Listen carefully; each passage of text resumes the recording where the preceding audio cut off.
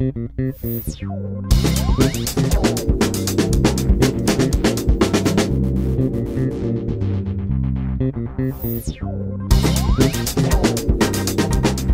to next week's edition now. I'm Eric Wilson. Today's show is brought to you by GeoData Plus.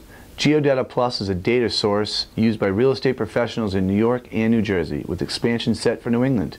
Services include property reports, sales comparables, foreclosures, mortgages, listings, and maps. Visit geodataplus.com. In this week's paper, Samuels and Associates secured construction financing for the $300 million Pierce Boston.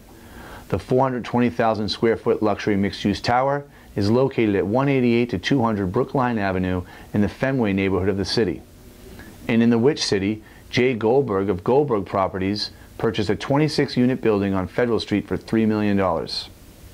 This week, we also have 22 unique columnists covering everything from 1031 exchanges, appraisal, civil engineering, cybersecurity, golf, hackers, insurance, retail market, restaurants, and four aspects of the Rhode Island market.